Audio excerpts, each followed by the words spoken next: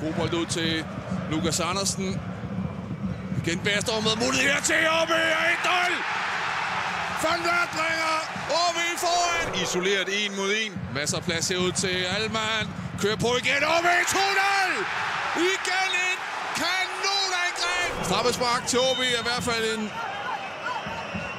en konstatering, og han scorer. Lukas Andersen bringer OB foran med 3-2.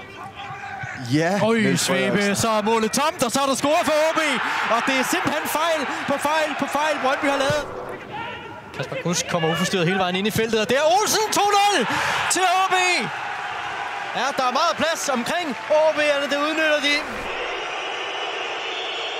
Van Vær til bolden her, og han sætter den sikkert.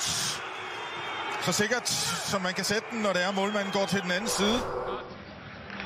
Den ligger godt, den der. Så lad os lige, jeg kan ikke tage den med første gang. Det er til gengæld godt spillet, Pritchard.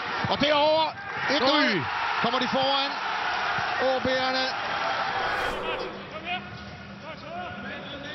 Van Vært ligger klar derinde i boksen. Dan! Og får den lige præcis ind over. De får slet ikke dækket af for ham. Det var øh, ret tydeligt i virkeligheden, hvor fri han øh, var derinde. Og så er det altså 2-1 til OB.